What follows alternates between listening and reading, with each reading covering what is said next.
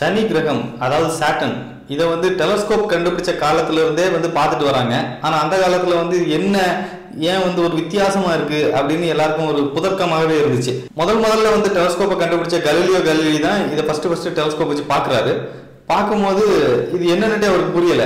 முதல்ல என்ன சொன்னார்னா வந்து ஒரு கிரகம் இருக்கு. அதை சுத்தி ரொம்ப பெரிய நிலாக்கள் ரெண்டும் ரெண்டு சைட்லயும் சுத்திட்டு இருக்கு அப்படின்னு சொன்னாரு. இன்னொரு டைம் பார்க்கும்போது அந்த ரெண்டு நிலாவும் காணல. மறுபடியும் வேற வித்தியாசமான ஷேப்ல எல்லாம் வந்து இந்த கிரகம் வந்திருக்கு.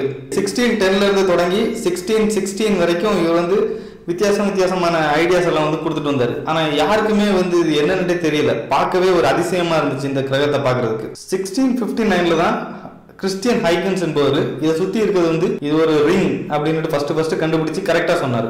அப்புறம் சிக்ஸ்டீன் செவன்டி ஃபைவ்ல கசினி அவர் வந்து என்ன கண்டுபிடிச்சாருனாக்கி இது ஒரு ரிங் கிடையாது. குறைந்தபட்சமாக ரெண்டு ரிங்காவது இருக்குது இதுல. வந்து ரெண்டு ரிங் இடையில கேப் இருக்குது அப்படின்னு கண்டுபிடிச்சார். அவர் கண்டுபிடிச்ச கேப்பை வந்து த கசினி டிவிஷன் அப்படின்னு அவருக்கு பேரை வச்சிருக்காங்க. இதுக்கப்புறம் வந்து வித்தியாசம் வித்தியாசமான கேள்விகள் எல்லாருக்கும் மனசுலயும் வந்துச்சு. இது என்ன ஃபுல் சாலிட்னால செஞ்ச ரிங்கா இல்லைன்னா வந்து ஒரு பெரிய கடல் மாதிரிப்பட்டது வந்து ஒரு லிக்விடா இல்லை ஃபுல்லும் கேஸா இது என்னது?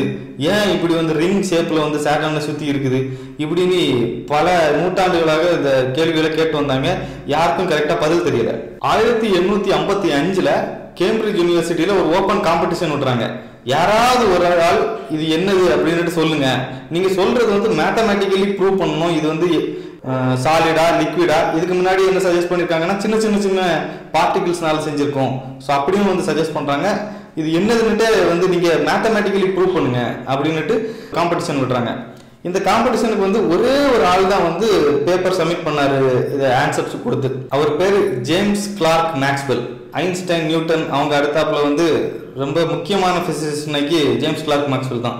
Particularly Maxwell's electromagnetic waves இதெல்லாம் வந்து அவர் தான் கண்டுபிடிச்சது அவருக்கு முதல் முதல்ல ஒரு பெரிய பிசிசிஸ்ட்னு பேர் வாங்கி கொடுத்தது வந்து சாட்டன்ஸ் ரிங்கை வந்து அவர் எக்ஸ்பிளைன் பண்ணது. ஸோ அவர் முதல் முதல்ல வந்து அது சாலிட் அப்படின்னு அசியூம் பண்ணி ஒரு மேத்தமெட்டிக்கல் இக்குவேஷன் எழுதினாரு. எழுதி சாலிடா இருந்தா அது வந்து ஸ்டேபிளா இருக்குமா? இருக்காதா? அப்படின்ட்டு. அந்த இக்குவேஷன்ஸ் என்ன சொல்லிச்சுன்னா சாலிடா இருந்தா ஸ்டேபிளா இருக்கும் ஆனா எல்லாமே வந்து ஒரே சைட்ல இருக்கணும் சாலிடு ஆனா சாட்டன் வந்து அப்படி இல்லை. எல்லா சைட்லயும் ரிங் மாதிரி அப்படி சுத்தி இருக்குது. ஸோ அது பாசிபிள் எக்ஸ்பிளனேஷன் கிடையாது. ஸோ இன்னொன்று வந்து ஒரு பெரிய கடல் மாதிரிப்பட்ட லிக்விடா இருக்க முடியுமா? அப்படின்ட்டு மேத்தமெட்டிக்கலி அவர் வந்து ப்ரூவ் பண்ணி பார்க்குறாரு. அப்படியும் வந்து பாசிபிள் இல்லை. ஸோ சின்ன சின்ன சின்ன சின்ன பார்ட்டிகிள்ஸ் எல்லாம் சேர்ந்து அப்படி ஒரு பெரிய ரிங்கை உருவாக்க முடியுமா? ஒரு கிரகத்துக்கு சுற்றி அப்படின்ட்டு ஒரு மேத்தமேட்டிக்கல் இக்குவேஷன் எழுதி பார்க்குறாரு. அது வந்து அப்படி அப்படி மட்டும்தான் சான்ஸ் இருக்கு அப்படின்னுட்டு அவர் ப்ரூவ் பண்ணுறாரு அவர் பண்ண மேக்ஸ் எல்லாம் ரொம்ப ரொம்ப காம்ப்ளிகேட்டடான ஒரு மேத்தமேட்டிக்ஸ் ஆனால் அன்னைக்கே ஒரு மேக்ஸ் வச்சு ப்ரிடிக்ட் பண்ணிட்டாரு. சாட்டன்ஸ் ரிங் வந்து சின்ன சின்ன சின்ன பார்ட்டிகிள்ஸால உருவாக்கப்பட்டது அப்படின்ட்டு ஏறக்குறைய நூற்றி முப்பது வருஷத்துக்கு அப்புறம் தான் அவர் சொன்னது உண்மை அப்படின்னுட்டு நமக்கு தெரிய வந்துச்சு. நைன்டீன் செவன்டி செவனில் தான் வாயகர் ஸ்பேஸ் கிராஃப்டை வந்து நாசா வந்து எல்லா சோலார் சிஸ்டத்தை எக்ஸ்ப்ளோர் பண்ணுறதுக்கு வந்துச்சு. அதான் வந்து ஃபஸ்ட்டு டைம் வந்து சேட்டனை வந்து க்ளோஸ்அப்பில் வந்து ஃபோட்டோ எடுத்து நமக்கு அனுப்பிச்சு. அதெல்லாம் அழகான ரிங்ஸ் எல்லாம் நமக்கு தெரிஞ்சுது. மறுபடியும் டூ தௌசண்ட் நைனில் கசினி ஸ்பேஸ் கிராஃப்ட் வந்து சாட்டனை படிக்கிறதுக்குன்னுட்டே அனுப்புனாங்க. மேக்ஸ்வெல் சொன்னது நூற்றுக்கு நூறு உண்மை. அது வந்து சின்ன சின்ன சின்ன துகள்களால் ஆனது அப்படின்னுட்டு அது ஃபோட்டோகிரா போட்டோ எடுத்தே காமிச்சிது. சின்ன அரிசி கிரைன் மாதிரிப்பட்ட சின்ன சின்ன துகள்கள்ல இருந்து தொடங்கி ஒரு பெரிய வீடு அந்த மாதிரிப்பட்ட பெரிய துகள்கள் வரைக்கும் வந்து சைஸ்ல சின்ன சின்ன துகள்களாட்டு மொத்த ரிங் வந்து இருக்குது. அந்த ரிங்ல உள்ள ஒரு கேப்பை வந்து மேக்ஸ்வெல்க்கு பேர்ல வச்சிருக்காங்க. இந்த மேக்ஸ்வெல் கேப் அப்படின்ட்டு. கசினி ஸ்பேஸ் கிராஃப்ட் வந்து அனுப்புனதுக்கு அப்புறம் நமக்கு தெரிஞ்ச ரிங்ஸை விடையும் இன்னொரு ரிங் வந்து சேட்டனை சுத்தி இருக்குது. அதுக்கு பேர் இ ரிங் அப்படின்னு சொல்லுவாங்க. ஏறக்குறைய நமக்கு தெரிஞ்ச ஜூபிட்டர் நெப்டியூன் யுரேனஸ் இது எல்லாத்துக்குமே வந்து ரிங் இருக்கு. ஆனா சுலபமா பார்க்க தெரியாது. அதே மாதிரி சாட்டனுக்கும் வெளியில ஒரு கேஸ்னால ஃபார்ம் ஆன ஒரு ரிங் இருக்கு. சுலபம் பார்க்க தெரியாது. குறிப்பா நம்ம சாதாரணமான டெலஸ்கோப் வச்செல்லாம் பார்க்க முடியாது. ஆனா அது அங்கே இருக்குது. அதை கசினி ஸ்பேஸ் கிராஃப்ட் வந்து நமக்கு போட்டோகிராஃப் பண்ணி காமிச்சிருக்கு. கசினி ஸ்பேஸ் கிராஃப்ட் வந்து சாட்டனும் அதுக்கு ரிங். அந்த ரெண்டுக்கு நடுவுல கூட வந்து டைவ் ஆகி போயிருக்கு. நிறைய தடவை வந்து உள்ளால உள்ளால டைவ் பண்ணி டைவ் பண்ணி வந்திருக்காங்க.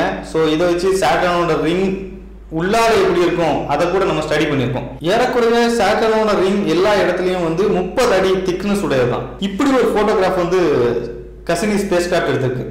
ஸோ இது பார்க்கறது கொஞ்சம் விசித்திரமாக இருக்கலாம் ஏன்னா வந்து சூரியனோட லைட் வந்து சாட்டன்ஸ் ரிங்கில் சில இடங்களுக்கு வந்து ஷேடோ வர மாதிரி உருவாக்கி இருக்குது ஸோ இதெல்லாம் பார்த்தீங்கன்னா சாட்டன்ஸ் ரிங்ஸில் மலைகள் இருக்குது. அந்த மலைகள் இருக்கிறதோட ஷேடோஸ் தான் இது. ஏறக்குறைய முப்பது அடி தான் திக்னஸ் ஆனால் திடீர்ந்தால நாலு கிலோமீட்டர் திக்னஸுக்கு மாறுது. பெரிய பெரிய மலைகள் மாதிரி வந்து சாட்டன்ஸ் ரிங்ஸ்லேயே இருக்குது. இது வந்து இந்த கசினி ஸ்பேஸ் கிரிப்ட் வந்து காமிச்சிருக்கு. சாட்டனுக்கு எக்கச்சக்க மூன்ஸ் இருக்குது. அதில் சில மூன்ஸ் வந்து பார்த்தீங்கன்னா இந்த ரிங்ஸுக்கு உள்ளாலே இருக்குது. எடுத்துக்காட்டுக்கு இந்த மூன் பாத்தீங்கன்னா டாப்னஸ் ரெண்டு ரிங்க் நடுவுல இருக்குது. இப்படி சாட்டன்ஸ் ரிங்ஸ்ல நடுவுல சின்ன சின்ன இடைவெளிகள் கூட நிறைய இருக்குது. அது மட்டும் இல்ல சாட்டன்ஸ் ரிங்ஸ் வந்து ரொம்ப ரொம்ப ரொம்ப ஒரு டைனமிக்கான பிளேஸ் அடிக்கடி பாத்தீங்கன்னா இங்க அலைகள்லாம் வந்து போறதை நம்ம பாக்குறோம். ஸோ கசினி ஸ்பேஸ் கிராஃப்ட் வந்து இதை ரொம்ப க்ளோஸ்அப்பில் பார்த்து எதனால இந்த அலைகள் ஃபார்ம் ஆகுது அப்படின்னு பார்த்தா உள்ளால வந்து சின்னதாக ஒரு இப்போ புதுசாக ஃபார்ம் ஆன மூன்ஸ் வந்து சாட்டன்ஸ் ரிங்குள்ளால வந்து உருவாகுது. இந்த புது மூன்கள் இதுக்கு பேர் வந்து ப்ரொப்பலஸ் இது மூன்கள் கூட சொல்ல முடியாது. மூன்களை கூட ரொம்ப ரொம்ப சின்ன பொருள். இது உருவானோன்னா அது ரெண்டு சைடில் உள்ள இடங்களை வந்து ஒரு ப்ரொப்பலர் ஷேப்ல வந்து அப்படியே கொண்டு போயிட்டு இதுதான் வந்து அந்த வேவுக்கு காரணம். ஏறக்குறைய வந்து நூற்றுக்கணக்கான ப்ரொப்பலஸ் வந்து சாட்டன்ஸ் ரிங்ஸ்ல இருக்குது. பெரும்பான்மையான ப்ரொப்பலஸ் வந்து சாட்டன்ஸ் கிராவிட்டினால உடனே அழிஞ்சு போயிடும் ரொம்ப நாள் ஒன்றும் நீடிக்காது. ஆனால் சில நேரம் இப்போ இந்த ப்ரொப்பல்லர்ஸ் வந்து பக்கத்தில் உள்ள நிறைய துகள்களை சேர்த்து ஒரு நிலாவாட்டே மாறும். ஒரு புது நிலா எப்படி உருவாகுது என்பதை வந்து சாட்டன்ஸ் ரிங்ஸ்ல வந்து நம்ம வந்து லைவா பார்க்கலாம். நம்ம சூரியனுக்கும் ஒரு காலத்துல பெரிய ரிங் இருந்துச்சு. நம்ம வேற நட்சத்திரங்களை பார்க்கும்போது புதுசா உருவான நட்சத்திரங்களுக்கு எல்லாம் வந்து சுத்தி வந்து ரிங்ஸ் இருக்குது. நம்ம சூரியனுக்கு ஒரு ரிங் இருந்துச்சு. அதுல இருந்தா நம்ம பூமி மற்ற கிரகங்கள்லாம் உருவாச்சு. ஸோ இந்த ப்ரொப்பல்லர்ஸ் வந்து நம்ம பூமி உருவாகிறதுக்கு ஃபர்ஸ்ட் ஸ்டேஜ் எப்படி இருந்திருக்கும் என்பதை வந்து நமக்கு லைவ்ல காணிக்குது. இன்னொரு முக்கியமான கேள்வி நம்ம கேட்க வேண்டியது என்னன்னா சாட்டன்ஸ் ரிங்கோட வயசு எவ்வளவு அப்படின்ட்டு. சாட்டனும் பார்த்தீங்கன்னா வந்து four point five billion years அதாவது நம்ம பூமியோட அதே ஏஜ் ஏறக்குறைய சாட்டன்ஸ்க்கு ஏஜும் மேபி பூமியோட கொஞ்சம் ஏஜ் அதிகமாக இருக்கலாம். ஸோ கசினி ஸ்பேஸ் கிராஃப்டோட டேட்டா பேஸ் பண்ணி பார்க்கும்போது அந்த ரிங்ஸ் வந்து ஏறக்குறைய ஒரு ஹண்ட்ரட் மில்லியன் இயர்ஸ் அவ்வளோதான் வந்து பழசு. ஸோ சாட்டன்ஸ் ஒரு காலத்தில் இருக்கும்போது அதுக்கு ரிங்ஸ் இல்லை.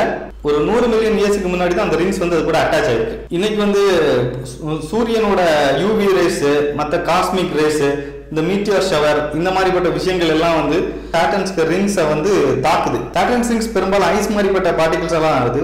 இந்த ரேஸ் வந்து இதை தாக்குறதுனால இது வந்து கொஞ்சம் கொஞ்சமாக சின்னதாக எவாபரேட் ஆகுது. எவாபரேட் ஆனதை வந்து சாட்டனோட மேக்னெட்டிக் ஃபீல்டு வந்து கேப்சர் பண்ணுது. கேப்சர் பண்ணி அப்படியே வந்து அதோட கிராவிட்டிக்கு உள்ளால இழுத்துக்கிறது. ஸோ கொஞ்சம் கொஞ்சமாக இந்த சாட்டன் ஸ்ட்ரிங்ஸ் வந்து மறைஞ்சு போயிட்டே இருக்கு. இப்படி மறைஞ்சு போகிறது வந்து அப்படியே ஒரு சின்ன மலை மாதிரி அதுக்கு சாட்டனுக்கு அட்மாஸ்பியர்ல உள்ள போய் விழுது குறிப்பா சாட்டனோட அயோனோஸ்பியர்ல வந்து இது வேற கெமிக்கல்ஸ் கூட இன்ட்ராக்ட் பண்ணி ஒரு இன்ஃப்ராரெட் லைட்டை வந்து கேப்சர் பண்ணுது. இந்த இன்ஃப்ராரெட் லைட்டை இன்னைக்கு ஹுவாயில் உள்ள கெட் டெலஸ்கோப் வந்து கேப்சர் பண்ணிருக்குது. சாட்டன் ரிங்ஸ் மறைஞ்சு போயிட்டு இருக்கக்கூடிய ரேட்டை பார்க்கும்போது முந்நூறு மில்லியன் வருஷத்துல வந்து சாட்டனுக்கு ரிங்கே இருக்காது. அந்த சாட்டனுக்கு ரிங் வந்து அப்படியே மறைஞ்சு போயிருக்கும். ஃபியூச்சர்ல ஒரு நாள்ல கண்டிப்பா சாட்டனுக்கு வந்து ரிங் இருக்காது. அப்படி ஒரு நாளும் வரும்.